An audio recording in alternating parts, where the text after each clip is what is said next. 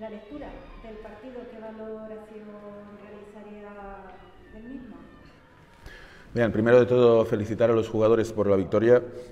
Pienso que durante los tres primeros cuartos hemos hecho un, un gran trabajo, tanto defensiva como ofensivamente. Pienso que hemos conseguido que no nos pudieran tirar tiros de tres liberados, que era uno de sus puntos fuertes, y pienso que ofensivamente hemos compartido muy bien el balón, hemos encontrado muy buenas acciones y, hemos encontrado acierto también en el tiro, que suele venir ¿no? cuando compartes el balón, cuando te pasas el balón, cuando transmites esta energía positiva, suele venir.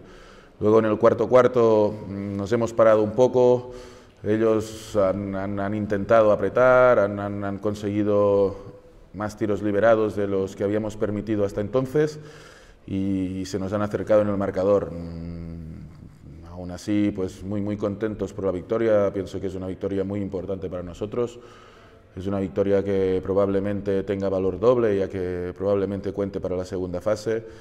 Y nos vamos de aquí muy contentos, pero bueno, ya pensando en el siguiente partido en casa, que es contra Zuqueca y donde debemos ya apurar nuestras poquitas opciones que tenemos de llegar a la sexta plaza.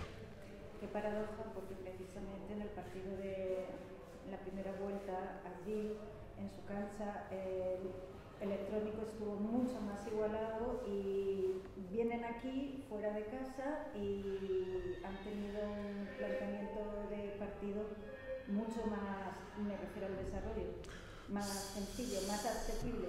Bueno, cada partido es un mundo, cada partido es diferente. Seguramente volviéramos a jugar mañana, el partido sería totalmente diferente. Mm, ellos venían con, con algunas bajas importantes.